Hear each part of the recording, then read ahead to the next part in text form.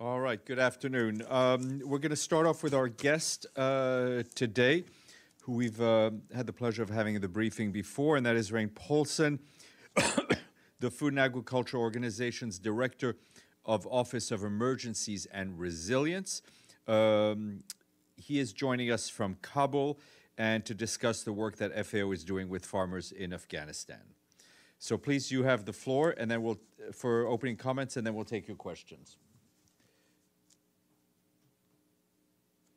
Stefan, thank you so much, and thank you, colleagues, for the opportunity to uh, brief uh, today. As Stefan mentioned, I'm uh, calling from uh, Kabul. Um, I arrived here on the first uh, UNHAS uh, flight this weekend um, in support of the work that FAO is doing countrywide to respond to the desperately acute food security situation. I wanted to do maybe a couple of things before coming to questions. First of all, um, share some reflections on um, the worsening situation, worsening humanitarian situation, but in particular, some aspects that uh, are not as visible as they should be, uh, given their size, scope, and scale uh, when we look at the news and media coverage of Afghanistan at the moment. And then, secondly, say a few things about the way in which FAO is responding currently at scale, countrywide, uh, to respond to uh, the situation. Um, but before I do that, just very quickly, I mentioned having flown in on uh, UNHAS, uh, incredibly welcome development that those humanitarian flights of the uh, uh humanitarian air, air, service are up uh, and running. Uh, deep gratitude, I know, from all the humanitarian community to WFP for the excellent work they've done in putting that together and the donors that have supported them. Um, and also to say, since arriving here, I have been struck in the most compelling way by the dedication and commitment of the UN humanitarian staff, um, including FAO staff that are staying, delivering in an incredibly challenging, and as I think you all appreciate, uh, extremely dynamic, uh, dynamic environment. So some comments about what I've seen since I've arrived and what we as FAO have been uh, closely monitoring and assessing and evaluating uh, over uh, recent weeks uh, and months. The organization I represent, the Food and Agriculture Organization of the United Nations, uh, is on the ground here in Afghanistan. Our focus is very much on shoring up uh, livelihoods and support to local food uh, production. And the reason why we're concentrating on this area uh, is because the importance of agriculture to the lives of rural uh, populations in Afghanistan simply cannot be uh, overstated. Agriculture is indispensable in keeping the people of Afghanistan fed, keeping them alive, uh, and keeping them self-reliant. Um, let me just give maybe three key data points in that regard. Millions of uh, rural Afghans depend on agriculture for food and, and income. Agriculture represents uh, more than a quarter, just over 25% of the GDP of the, uh, of the country. It directly employs uh, some 45% of the workforce of the country, and perhaps most importantly, um, provides livelihood benefits for fully 80% of the Afghan population. So, I mean, those numbers alone tell you just how indispensable agriculture is uh, in the context of Afghanistan and why FAO is concentrating on this. So, with those numbers in mind, um, comments that I wanted to share uh, now uh, with all of you uh, around this are to really underscore the extent to which many dimensions of the humanitarian crisis that's playing out in vast rural areas across the country really, uh, in many ways, is um, uh, invisible beyond the news headlines. And yet, these rural areas are where seven out of 10 uh, Afghans live. Um, there is a drought underway at the moment, a severe drought that is impacting fully 7.3 million uh, Afghans. It's the second drought in four years, and we all understand how um, knock-on effects uh, take place when you have successive crises taking place and vulnerable populations do not have the chance to re-establish themselves before being struck by another crisis, which is the case of uh, the drought that's taking place now.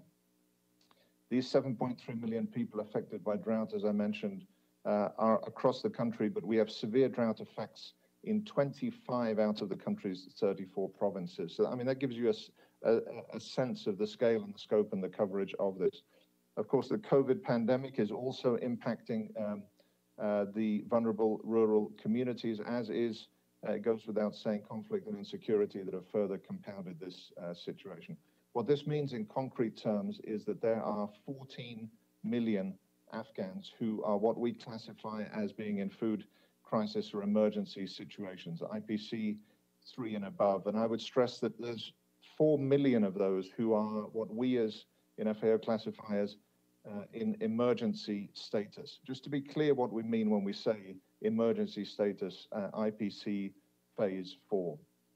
This represents extreme gaps in food consumption, very high levels of acute malnutrition and excess mortality. I come from a country of 5 million people, and when I hear that there are 4 million people and see 4 million people in IPC4, it, the, the numbers really are difficult to uh, comprehend, but I hope you get a sense of scale. Displacement continues, more than 400,000 uh, IDPs uh, this year alone. Again, displacement mainly from rural areas, which I'll come back to uh, later, and those numbers are on the rise.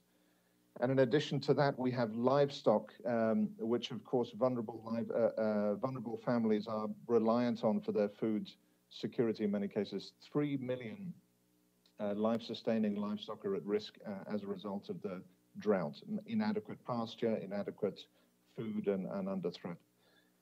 One of our deep concerns now as SAO, uh, FAO has to do with the time sensitivity. Um, we are looking at an unfolding situation uh, which is being compounded also now by challenges on the cash and banking system side, challenges to markets, uh, availability of agricultural uh, inputs, and all of this is threatening the most important cropping season in Afghanistan, uh, what's called the winter wheat season. This is uh, a season where farmers need to start planting now, this month, the end of uh, the end of uh, September, uh, and it's critical to the to the country. More than half of Afghans' daily calorific intake comes from wheat. This crop is simply indispensable in food security terms.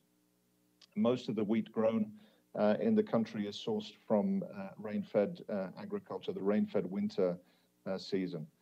So the clock is very much ticking in this regard. I mentioned the end of September as being a key starting point for planting. Um, FAO in that regard has already mobilized significant support. We have resources in place to support an extra one and a quarter million uh, Afghans for this winter season, but much more is needed, uh, even though those are significant programs at, at large scale.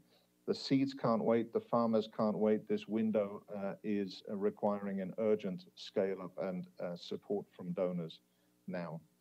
I wanted to say that FAO's package in responding to winter wheat um, is compelling in terms of the uh, investment that it represents and the transformational nature uh, that it represents.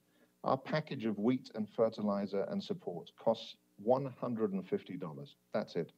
For $150, a family of seven Afghans will produce 1.2 million tons of wheat. I mean, these are a lot of numbers, but just to say they'll produce enough wheat uh, to give them cereal and flour for an entire 12 month period. $150 for 12 months' supply of wheat and flour. Incredibly impactful, very cost effective, uh, and uh, again underscores why it's imperative that we don't miss this winter wheat season. Wanted to come back to the displacement uh, issue as, as well. Uh, I mentioned a number before 400,000 uh, Afghans displaced this year alone from rural uh, areas. The single most important factor uh, to uh, mitigating displacement as we look at this drought situation now is keeping farmers in their fields and keeping herders with their flocks. This is absolutely key to preventing a deepening displacement crisis. We know what will happen if agriculture collapses further. It will drive up malnutrition. Uh, it will uh, increase displacement, as I said, uh, and of course, the overall humanitarian burden will uh, worsen. Uh, we've seen from experience in Afghanistan and elsewhere that when families are forced to displace, it takes on average between three and five years for this family to recover. It's imperative that we intervene in a timely fashion to avoid further displacement. The cost of assisting IDPs, of course, is much higher once people are displaced than if we can support them and prevent uh, displacement in the, uh, in the first instance. A few other quick words before I uh, describe some of the things that FAO is doing quickly, and then we move to questions. I, I think I mentioned before livestock and just how vital those are. I've said some things about the winter wheat campaign and why that's indispensable. But Afghan herders and livestock owners also need urgent assistance to counter the impact of drought during this winter season, during this uh, lean season that we're moving uh, into.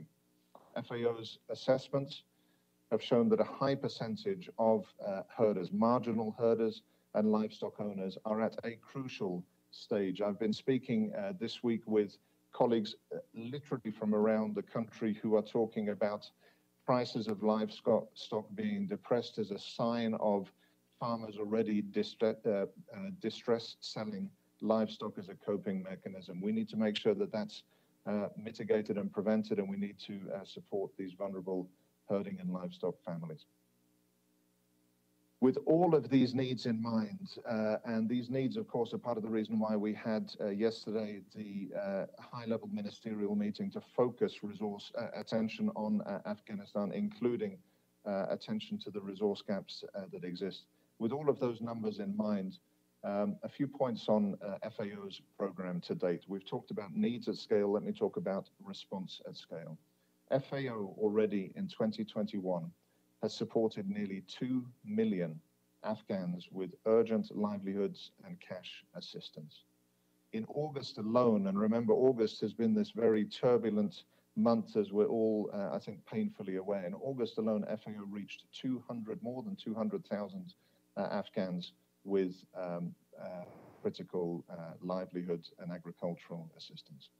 FAO is scaling up, but we need more support. The needs have increased, um, even though even before August, we were talking about one in three Afghans in a situation of acute food insecurity. As you would expect, the needs are getting worse. The cost of delivering has increased. And at the same time, uh, access, operational access is actually improving and has improved for uh, FAO in a number of uh, parts of the country. That means we have access to populations that were previously inaccessible, and we absolutely need to take full advantage of that space to deliver. The FAO needs uh, $36 million urgently for this winter season and the coming months. This was uh, a portion of the 606 million that was described in yesterday's uh, event. Those are resources that are going to support wheat packages for this winter season, support concentrate animal feed uh, and vet support for um, uh, herders and livestock owning families. some support for rice horticulture and vegetable growers. and I should say the cash assistance is a key component for us. The most vulnerable families don't necessarily have access to land. Uh, families in rural areas headed by women, people with disabilities, the elderly, we target as FAO cash assistance. We've been targeting cash assistance to support them, and the 36 million gap that we have is also to respond to that. So in closing, before I come to questions, and I'm keen to, to hear what questions you may have, and I'll certainly do my best to try and answer them, I would just underscore and reiterate uh, just how vital it is that we scale up quickly, we move efficiently. You've heard me describe operations already underway at scale, we have critical windows in time now that we absolutely need to take advantage of. FAO is doing that together with uh, its partners, uh, drawing attention to the needs, the realities, and the resourcing gaps is indispensable, uh, which is why uh, I'm particularly pleased to have had the opportunity to give a short uh, briefing uh, today. Thank you very much, and I look forward to your question. Thank you very, very much for that eye-opening briefing. We'll go to Edie Lederer, Associated Press. Thank you very much on behalf of the United Nations Correspondents Association for doing this very interesting briefing and sort of very distressing uh, the numbers. Um, yesterday, there were pledges of $1.2 billion. Is that going to give FAO the $36 million that you need quickly enough to deal with this these emergencies for ahead of the winter setting in and enabling crops to be planted. And secondly, of the 4 million Afghans in emergency uh, status, how many of them are in rural areas? Do you have any idea? Thank you. Thank you. Go ahead, please.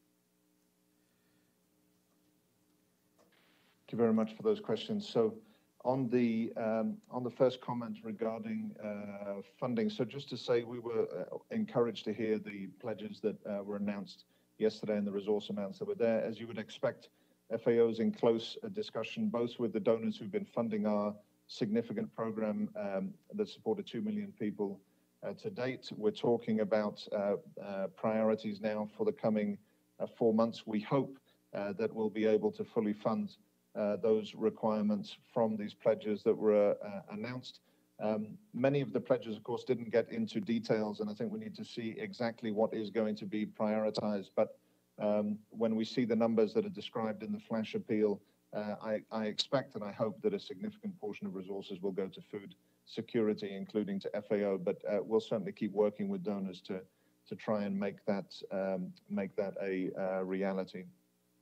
The um, the population breakdown between rural and uh, uh, rural, urban and rural populations on the IPC side. I don't have the detailed breakdown in my head, but um, just to say that given the uh, seven out of 10 Afghans that live in rural areas, um, when you see and you read the numbers that I was describing, the majority of people in these particularly acute situations, yes, can be found in uh, vulnerable rural areas, those areas where FAO and partners are working.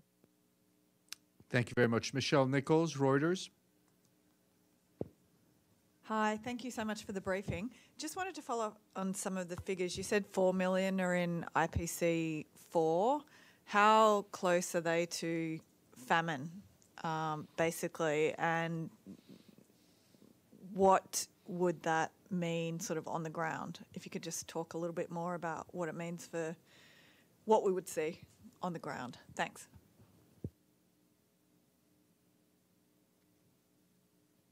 I think there's a, a really important message that uh, FAO uh, stresses in this context and in other contexts, which is it's imperative that we do not wait for a formal documentation of famine before we respond uh, at scale.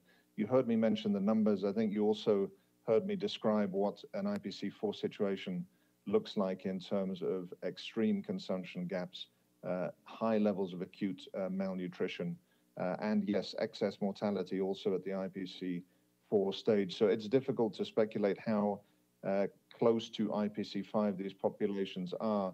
But really, the message I want to underscore is uh, when we when we describe an emergency situation, it is truly an emergency situation that merits a response uh, at scale, the type of response that FAO and partners uh, implement. So we are we are strongly uh, th- this message about not waiting until famine breaks out to respond at scale. I think is vital to uh, underscore with readers and with the general public. Thank you.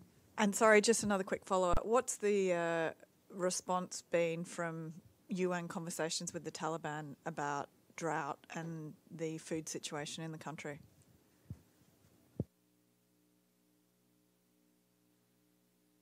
Should I take that question? Yes, please, away? please go ahead. Yeah, sorry, go ahead. Um, so uh, I think all of you are well aware of the um, discussions that um, the Emergency Relief Coordinator undertook recently on behalf of the entire UN system and humanitarian community, dialoguing with um, the um, uh, Taliban uh, interim uh, administration, uh, talking about both the context and the operating requirements of humanitarian agencies.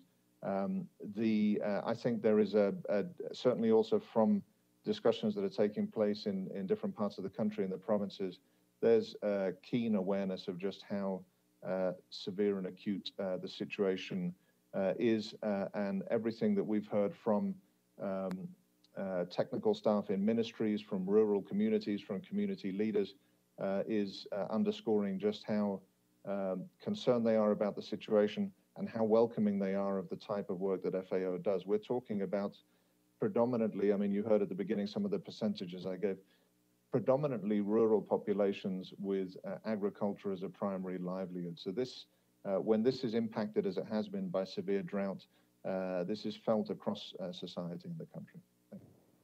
Thank you. Uh, we'll go to the screen. Uh, James Reinl from the National. James?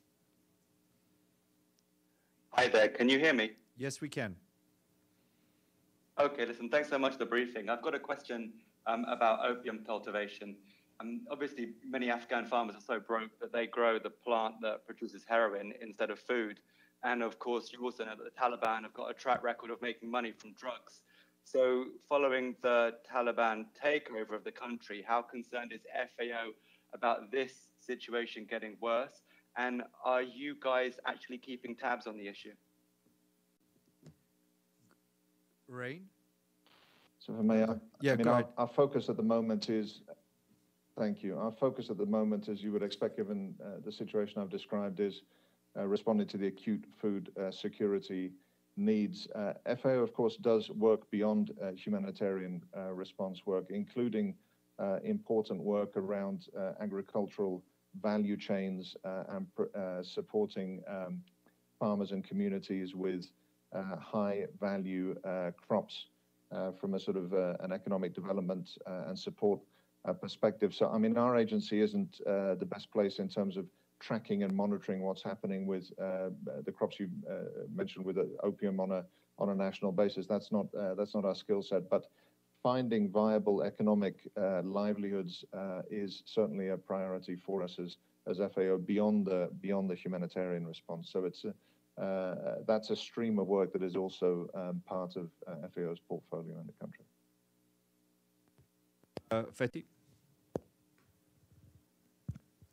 Thank you very much, Ahmed Fathi, ATN News. Uh, a follow-up on uh, my colleague uh, James Reinl question about the the uh, narco economy and, and, and the situation there. Uh, first, uh, uh, it's really admirable the numbers you've presented in terms of the uh, suggested cost, $150 to feed a family of seven for an entire year. That's uh, truly remarkable. Uh, but with regard to the uh, poppy cultivation, uh, FAO, FAO, FAO is in charge of the agriculture portfolio within the uh, international system, within the UN system. When you are dealing with an emergency, and I'm not going to get to the political side, you are providing regardless of any uh, other consideration. But that would include giving aid to owners of land that's been used to cultivate poppy. And is there within the emergency programs uh, any uh, plans to do a conversion uh, of, of a sort to provide a different cash crop that might be uh, beneficial uh, or of value to, to, to the farmer? Thank you. Go ahead, uh, Ryan, So let me maybe comment on the. Thank you, Stefan. Let me maybe just comment on the area uh, that's uh, under my particular purview and area of expertise, which is the humanitarian response side. So, I mean, we have, as you would expect, very rigorous, clear targeting criteria um, developed in uh, close discussion with other partners who work on on emergency food security issues. And our our focus in response is always and will always be the most vulnerable, uh, the most vulnerable households. So that's where we uh, that's where we focus uh, our attention based on need, uh, need alone, uh, providing the type of support we're providing. I'm really, unfortunately, not in a position to to comment on. Uh, these more detailed questions on uh, opium as a as a crop, uh, uh, the broader questions on on drug cultivation. It's just not uh, part of my purview and area of expertise. So I hope you'll excuse me from responding to that. Thank you. Thank you. Uh, Ibtisam? Uh, Thank you, Steve. Hi, my name is Ibtisam Azem from the Daily Arabic Al Arab Al Jadid uh, newspaper. Uh, um, I have a follow up. You mentioned that women play a lot, uh, an important role in agriculture.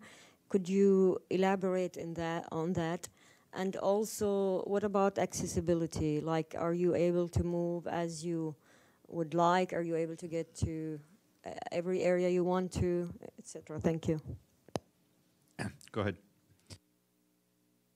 So maybe let me start with the access uh, question first. So we, um, as FAO, are implementing activities uh, in uh, 31 of the 34 provinces uh, in the country, and currently we have active operations in 28 of those 31 provinces. So that gives you a, a sense of, um, you know, the, the scale uh, with which we're able to implement activities uh, currently. Um, uh, our clear sense is that the operating space, and I think I made a comment about this before, has improved in many parts of the country as, as active conflict has stopped, and we're certainly doing our very best to uh, take advantage of that space to reach these vulnerable uh, populations I described. So we have uh, uh essentially a countrywide operation at, at, scale, and we're able uh, to access um, significant parts of the country. And of course, our FAO's operating modality is is working closely with partners and in close consultation with rural communities. And so the uh, the spread is uh, truly deep field, uh, deep field in that regard. Your first question on the role of um, women in agriculture. So, I mean, there's a detailed response on you know what this what this looks like, but we're clearly, as I mentioned before, focused on vulnerability as a driver for uh, support and attention. And when I when I made reference to vulnerable rural female-headed households as a as a particular a priority uh, for our cash interventions. It's precisely because we are um, always looking to make sure that we are addressing the most acute vulnerabilities in our uh, in our uh, activities. So this has been a priority for FAO, remains a priority for FAO, and, and is something that we're emphasizing in our operations. Thank you. Thank you. We'll go back to your screen, uh, Evelyn Leopold. Evelyn, and then we'll go to Dulcie. Evelyn?